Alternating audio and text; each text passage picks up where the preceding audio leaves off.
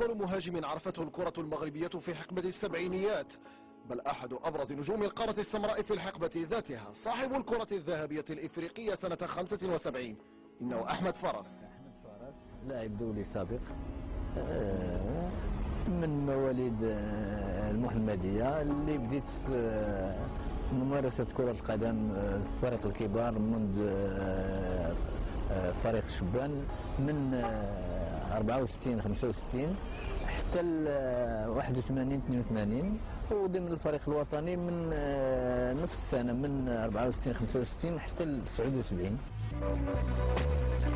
لم يعرف ناديا غير شباب المحمدية ودافع عن ألوان المنتخب الوطني ل 14 عاما.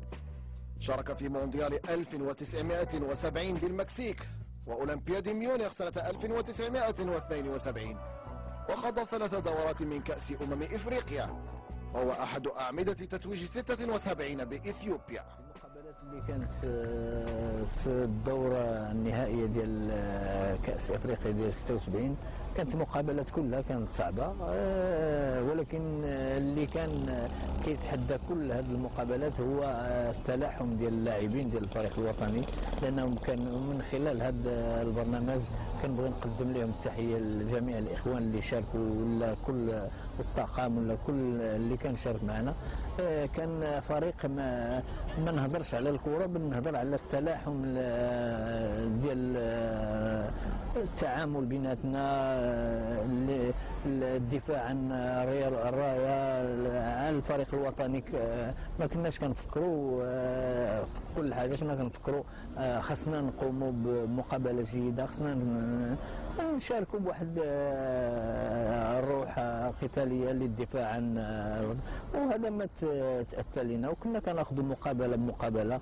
وكانوا حتى في راخي كانوا صعب لنا باقي نعقل لنا كان صعيب باش تواجه آه، السودان آنذاك كانت السودان كان فريق قوي آه، نيجيريا آه، عدة فرق صعيبة. مصر غينيا اللي كانوا كيسميوها آنذاك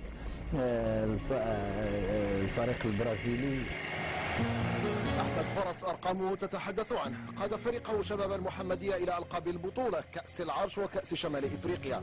أحرز لقب هداف الدوري سنتي 69 و 72 سجل حافل بالعطاء أبرز ما فيه إنجاز 76 رفقة الأسود.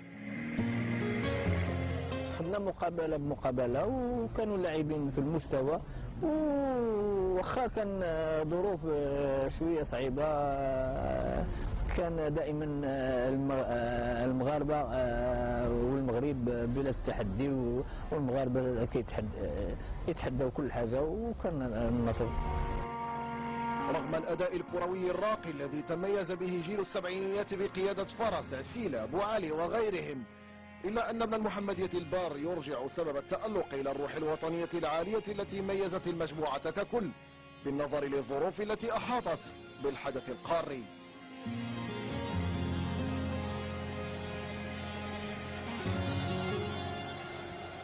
كان ديك هذاك الوقت كانت آه، على ما أظن كانت حرب آه، إريتريا.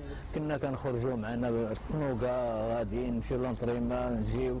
ولكن هذا كله آه، كان الحماس بأن كان إحنا جينا كجنود باش ندافعوا على واحد الشعار واحد الرمز هو الراية الوطنية.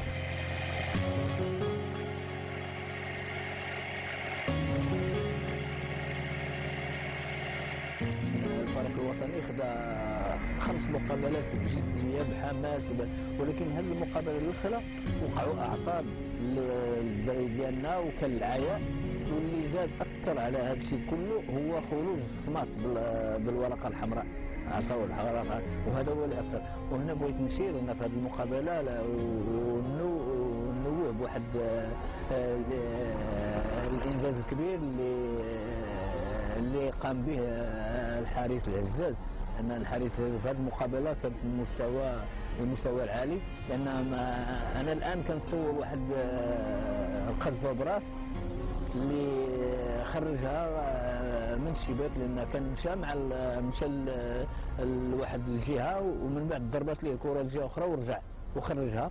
وهنا كان كانت مقابلة صعيبة لأن كما قلت لك بأن غينيا آنذاك كانوا كيلقبوها بالبرازيل ديال عصرها عندنا مؤهلات كبيرة في اللاعبين عندهم آه، عندهم خبرة كبيرة وعندهم ولكن تكون ديك الغيرة الوطنية باللي نزيدها فوق هذا الشيء وغادي يكون إن شاء الله النصر حليف الفريق الوطني ديالنا إن شاء الله. يكفي القول بأن أحمد فرس هو الهداف التاريخي للمنتخب ب 42 هدفا وهو أيضا قائد رسامي ملحمة إثيوبيا. أمله أن يعيد الجيل الجديد رسم الفرحة على وجوه المغاربة كما فعل هو وزملاؤه ذات يوم سنة 1976